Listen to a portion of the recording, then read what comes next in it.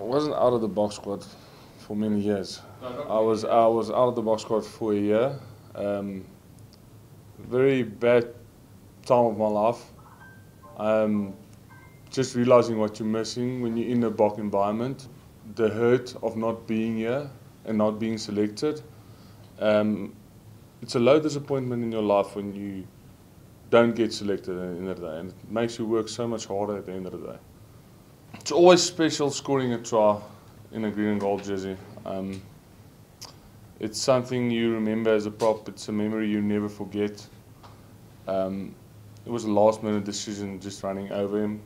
Uh, but it's a, like Matt says, it's a split decision on the field. Um, looking back at it, I could have stepped. I haven't taught you to sleep. Yeah, and um, but straight and hard lines are always the better line for me personally.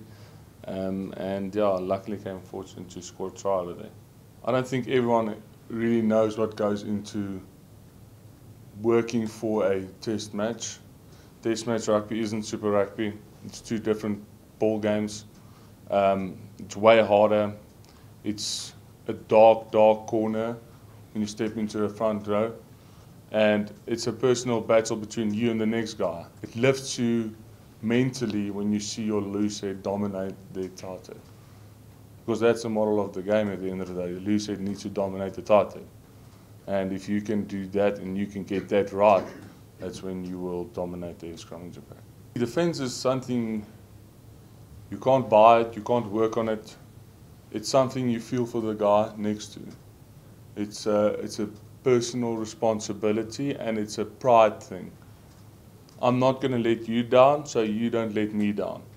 And um, it's that extra things which people in the outside world don't see, but it's getting off the ground, working for your mate next to you, um, not staying onto the ground, and just working your, just working and um, getting out there to make the next tackle. The all-round capability of this team is something to be proud of. I think each and every player out there or in here knows what we stand for